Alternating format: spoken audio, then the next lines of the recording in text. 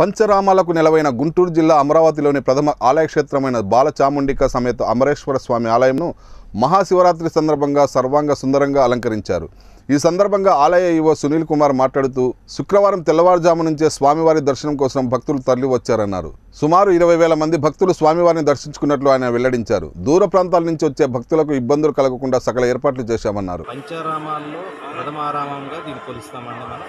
ప్రథమారామం అంటే కనుక అమరుని చేత ప్రతిష్ట కాబడింది కాబట్టి ఇక్కడ మనం దీన్ని అమరారామంగా పిలుస్తాం.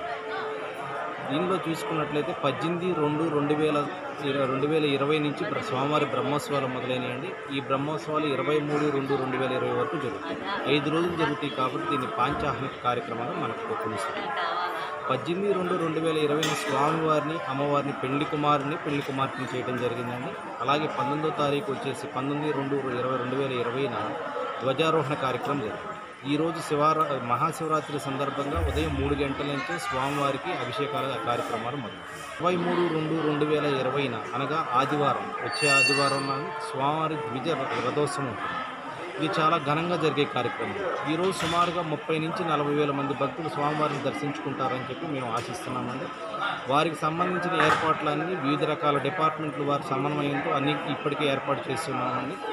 ఎలాంటి పరిస్థితుల్లో కూడా స్వామివారి దర్శనానికి వచ్చిన భక్తుడిని అరగంట నుంచి నలభై నిమిషాల్లో స్వామివారి దర్శనం చేయించి బయటికి సేఫ్గా బయటికి పంపిస్తామండి. ఈ వీడియో మీకు నచ్చినట్లయితే మా ఛానల్ని సబ్స్క్రైబ్ చేయండి లైక్ ఇవ్వండి మీకు నచ్చిన వారికి షేర్ చేయండి.